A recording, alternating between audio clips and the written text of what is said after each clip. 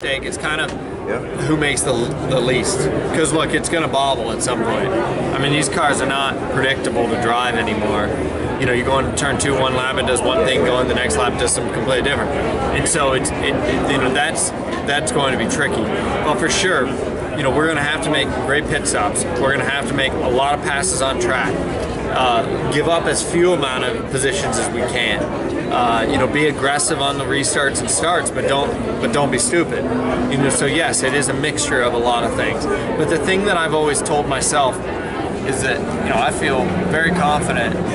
You know that I'm one of the best racers out here on Sundays, and so I just have to trust my instincts because it's worked for me in the past, and I don't want to force anything or overthink anything. Because trust me, you could sit here all day and literally run through every pass and every this and that in your head, and all you're gonna do is drive yourself nuts. You gotta let your instincts uh, take the take the wheel and go with it.